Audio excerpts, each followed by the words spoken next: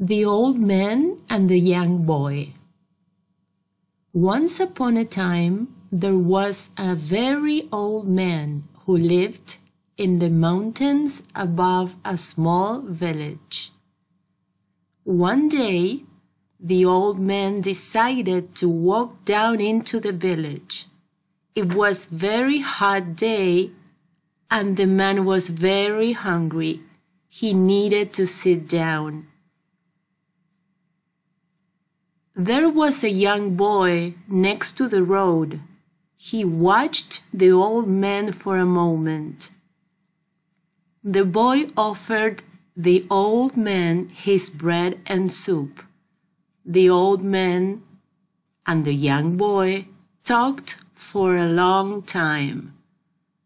Then the boy helped the old man to walk back to his house in the mountains. The old man smiled and thanked him. When the young boy arrived home, he looked in his pocket and discovered a beautiful little bag. He opened the bag.